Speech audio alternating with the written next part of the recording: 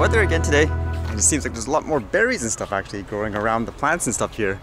I always see these people actually sometimes they come with like buckets and stuff like that and they start picking them.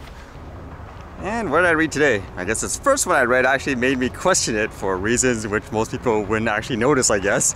This one says, Powell River RCMP issues warning after drone flow near windows of homes. Usually these types of stories deals with privacy, like people worry that they're being quote spied on, even though we all know that's kind of crazy based on the cameras that a lot of the consumer ones have. But this one here says, don't fly your drones near homes. It's a lesson Powell River RCMP hopes sinks in with one operator who was flying a drone close to the windows of two homes near Mirror Rock last Wednesday night. Police identified the pilot and issued a warning.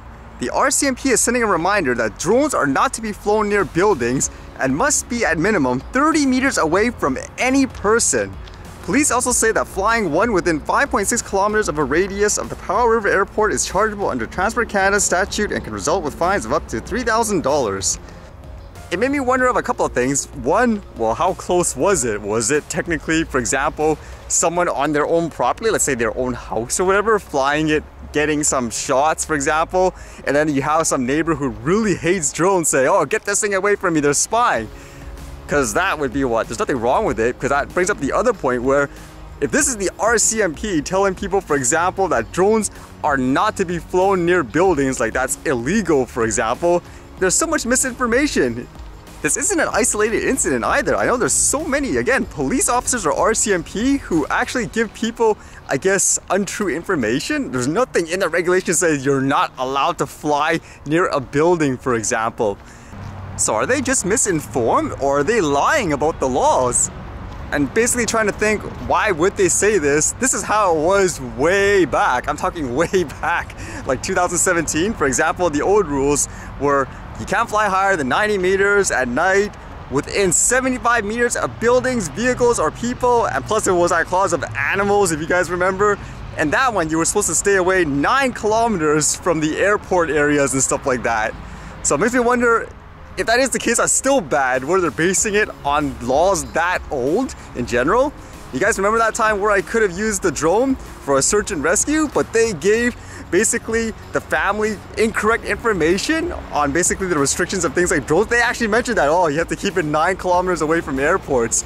But at the same time, it's like they're not aware of anything in terms of what it currently is like even I'm one to say it's still over the top, so to speak. But yeah, it's just kind of crazy how law enforcement or whatever don't even have updated information. Like in this case, where the person was flying like what, a micro drone or something like that, that should be okay, right?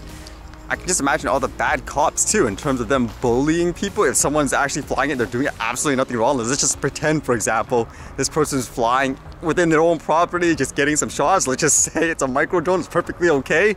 You have some neighbors say, oh, this thing's illegal, and then you bring the cops over and they start giving that person a lecture even though they're not doing anything wrong.